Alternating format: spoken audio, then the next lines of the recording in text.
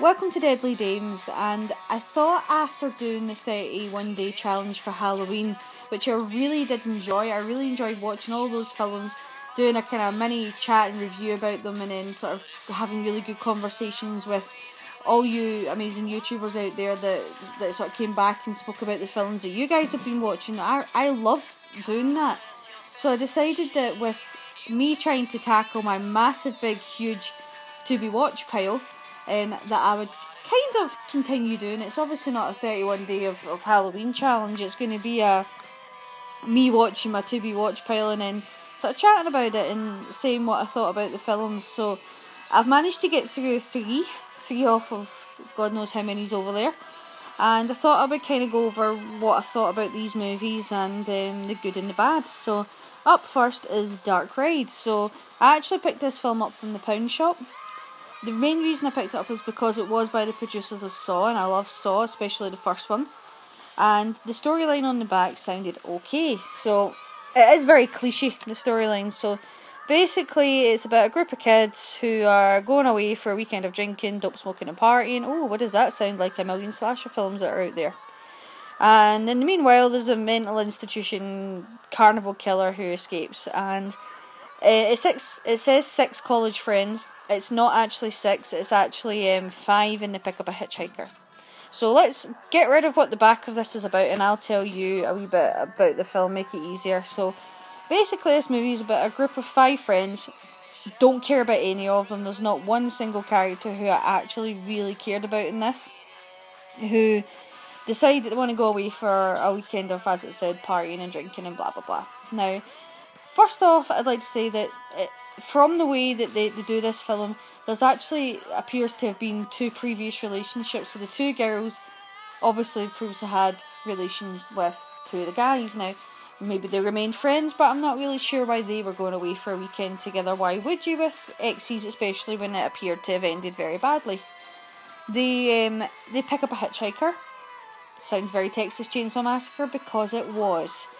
Um, and they find a leaflet about this haunted ghost train ride, which has been closed down for years because this carnival killer had killed and butchered two twin girls there years ago and made them part of the attraction. He was obsessed with making them part of the attraction, and uh, he went to mental institution. So the sub storyline is this guy in a mental institution, the carnival killer, who is uh, being taunted by his guards and carers, and then he kills them and escapes.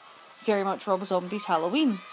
So then you've got these kids again, you don't care about any of them, they're actually all arseholes, so you really just want them to die. Now, I don't mind a slasher film where you, you don't care about the characters and you want them to die, but I much prefer a slasher film where I at least care about one of them.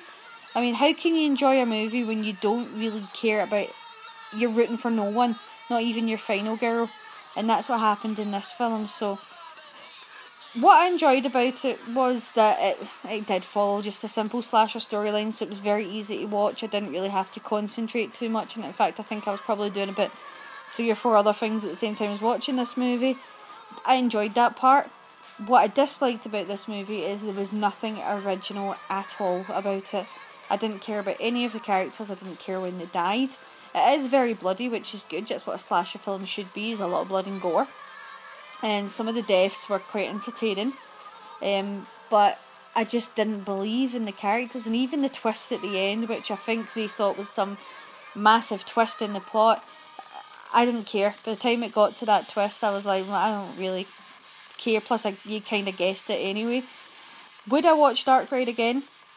No. That's the easiest way to put it. I'm not going to watch this film again.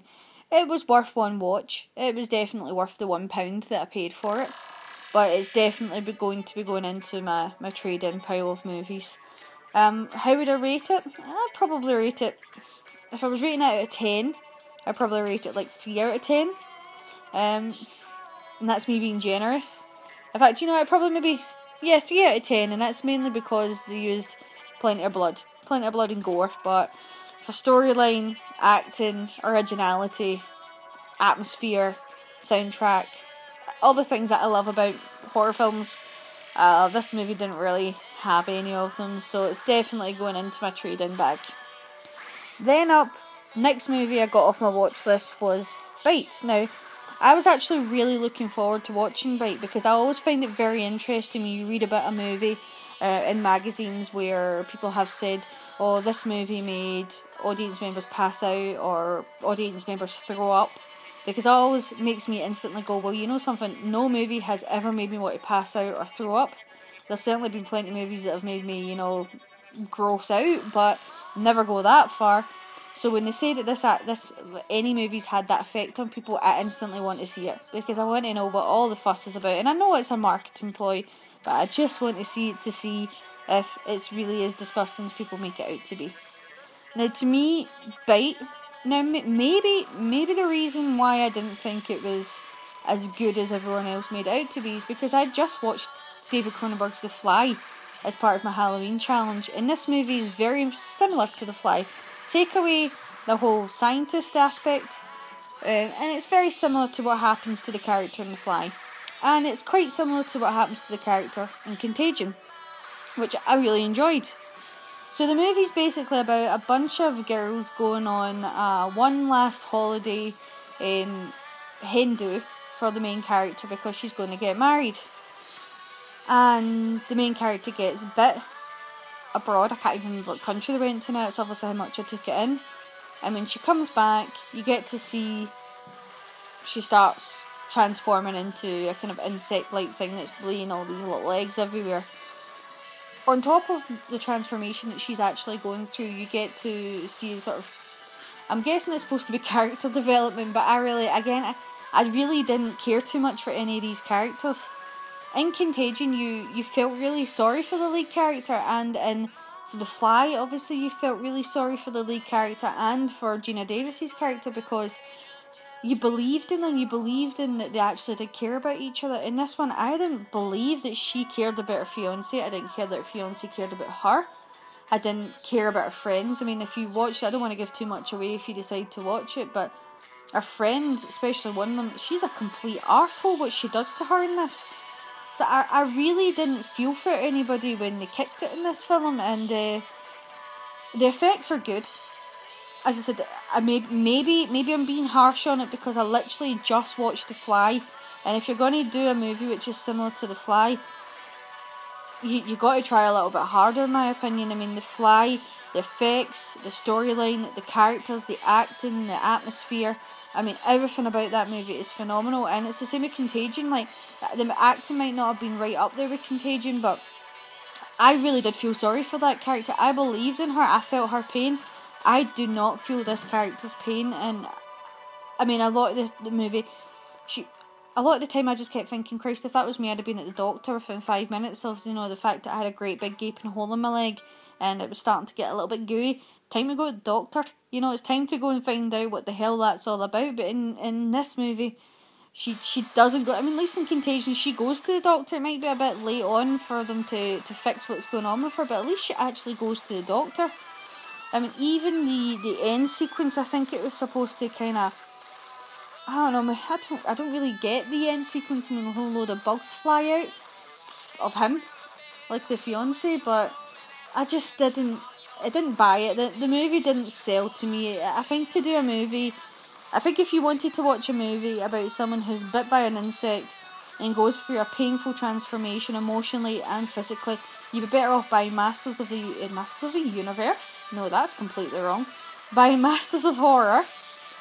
Watch Masters of the Universe if you want. I love it, but yeah, buying Masters of Horror and watching Lucky McKee's Sick Girl because this movie is a sort of poorer version of Lucky McKee's Sick Girl.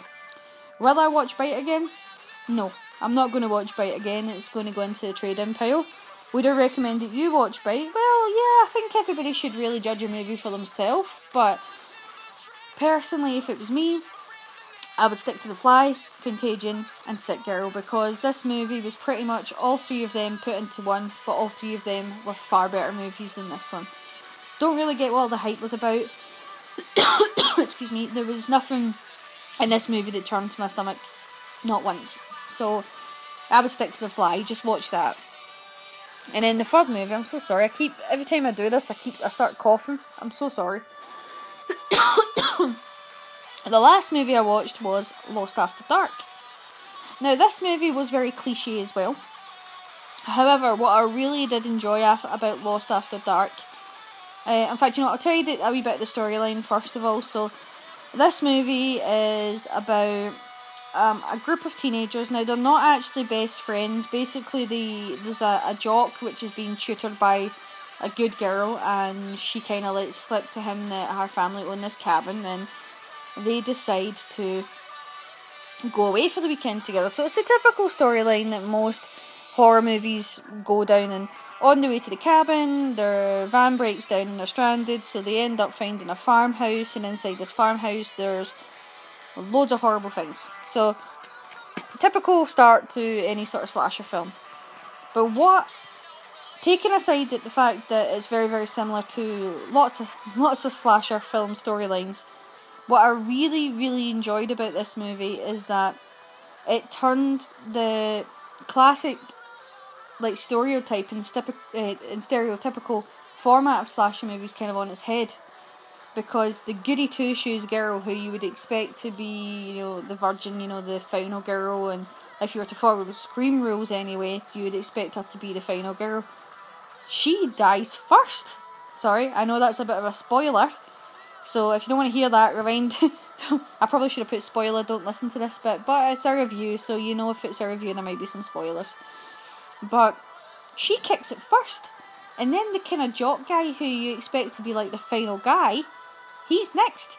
So you actually end up with all the arseholes that you're so used to in slasher films seeing die first, being the ones that are left alive later. I really, I really, really enjoyed that in this film. I really enjoyed that they tried something different. They didn't follow, follow the sorry, follow the path that so many other slasher films have done before them, and, and think you know what we have to have the good girl survive until the end because let's face it, see if it was real life, I really don't think there would be a format to how people die, whether they're good or bad. I think they would just die in whatever way the killer happens to find them. And that's what I quite liked in this movie. The killer, he, he didn't really bring anything to it. He was just a guy running about killing people. And even when they tried to sort of introduce the, the backstory, uh, it wasn't really the most the world's most interesting backstory. I really loved that Robert Patrick turned up in this for however long that he did, and uh, he's not in it very long. Um, what I did like though is that all the people who you think is coming to save the day, and again, I'm so sorry this is a spoiler, but I have to say it because it's the thing that I really liked about it. they, they, didn't, they didn't help in any sort of way, which I thought was great as well. So, um, will I watch Lost After Dark again? Yeah, yeah, I'm actually going to watch Lost After Dark again because I actually really did enjoy that this movie did something different. The acting was quite good. Um, the atmosphere was quite good. The effects were quite good. Um, I generally did enjoy watching Lost After Dark, and um, it is a film that I would recommend if you are like me and you've seen hundreds of slasher films and you want to see something that tries something a little bit different. Try this one and see what you think about it. So, yeah, that's all the films that um, I've watched off my to be watch pile. It's a shame that two of them weren't living up to what I hoped it would be, but you can't have everything. One out of three ain't bad. Um, Bite, I would probably rate maybe a, a 4 out of 10. And as I said, I would rate Dark Ride 3 out of 10. I would rate Lost After Dark probably a 6 out of 10, which is quite good actually because I've got really high standards when it comes to a, a good slasher film. There has to be something in there that makes me want to come back and watch this film again. So definitely, if you're out there and you're a horror fan and you're thinking about picking one of these three up, definitely. I mean, as I said, judge judge book by its cover for yourself. But uh, I would recommend Lost After Dark to be the one to watch if you're wanting to see something that tries something a little bit different. Um, so as always, thank you so much for watching. Please like and subscribe.